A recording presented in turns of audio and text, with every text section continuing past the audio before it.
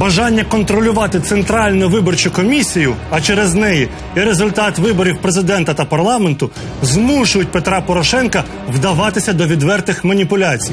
З вами Сергій Лещенко і програма Чесна політика. Вітаю вас.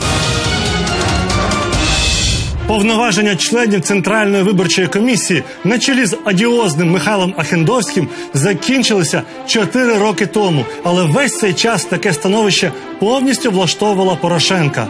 Слухняні члени ЦВК, термін яких закінчився, дозволяли йому досягати потрібного результату.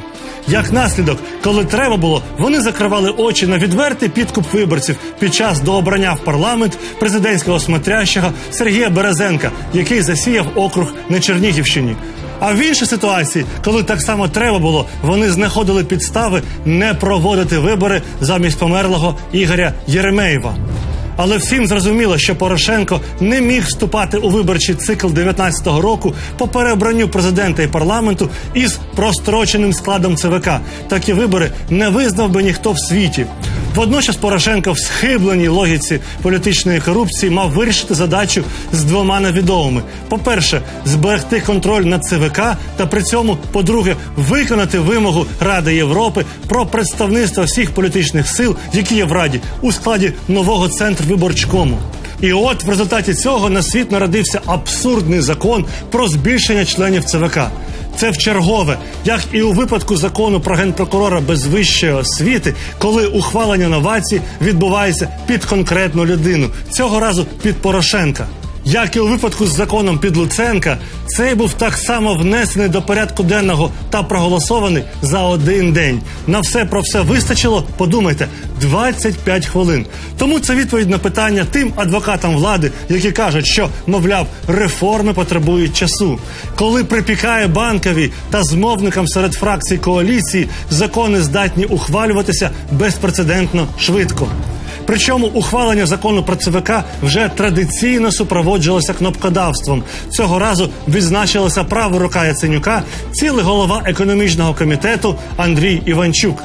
Переконаний, саме тому кнопкодавство безкарне, саме на ньому тримається нинішня влада. І тому, між іншим, між першим і другим читанням у раді застряг мій закон про покарання кнопкодавів.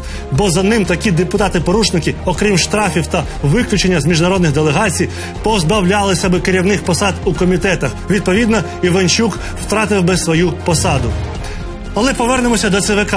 Логіка збільшення кількості членів центру виборчкому з 15 до 17 дуже проста та навіть примітивна: роздати всім фракціям по представнику, але при цьому залишити за Порошенком контрольовану більшість. Згідно з запропонованими кандидатурами, до квоти БПП і Народного фронту належать 9 членів. Ще один кандидат від волі народу, яка через Олеся Довгого контролюється банковою.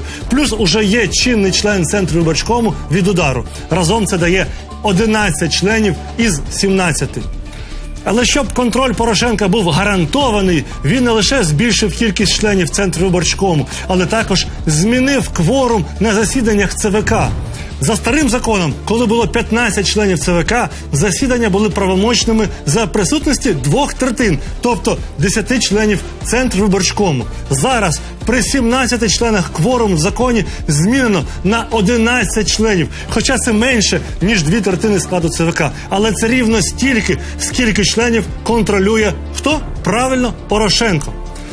Цей кворум в 11 членів ЦВК дозволить Порошенку фактично проводити засідання лише складом лояльних до нього людей. Якщо, наприклад, хтось із членів центру виборчкому, як колись в четвертому році під час помаранчевої революції, захоче виступити проти самоуправства більшості, його дії будуть просто нейтралізовано. Колишня заступник голови ЦВК Марина Ставнічук вважає, що такий закон цитую свідчить про повну політичну деградацію у парламенті. І справді склад ЦВК свого часу був визначений в 15 осіб пропорційно до кількості та розмірів регіонів, населення України, обсягу завдань і головне організації роботи в комісії. Зараз збільшення числа членів ЦВК суперечить навіть логіці. Україна мала 15 членів при забезпеченні виборів на всій конституційній території. Зараз, коли вибори не проводяться в Криму та на більшій частині Донецької та Луганської областей, де живе близько 10% взагалі виборців України, відбувається збільшення кількості членів ЦВК. У центрі виборчкомі навіть розташування столів і крісел у обох залах засідання орієнтовані на 15 членів комісії.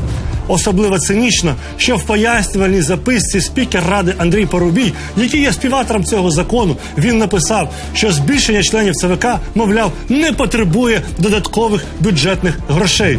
Це відверта брехня, адже двох членів виборчкому треба забезпечити зарплатою, а яка буде на рівні міністрів. Крім того, буде необхідно нарощувати апарат ЦВК для обслуговування цих двох додаткових членів. А це ще гроші. Усі ці маніпуляції вказують на одне: влада готується до фальсифікації на виборах. Порошенко не збирається просто так віддавати владу. Надто багато грошей вона приносить, а також рятує від переслідування правоохоронними органами. Адже щойно він стане екс-президентом, як Порошенко буде підслідним антикорупційному бюро, і можна лише уявити, які кримінальні справи буде відкрито нечинного ще главу держави. Але в умовах такого політичного схематозу неможливо побудувати чесну країну. Саме тому ми повинні готуватися захистити свій вибір, вкрасти який вже зараз замислили Порошенко і його команда. З вами був Сергій Лещенко. До зустрічі.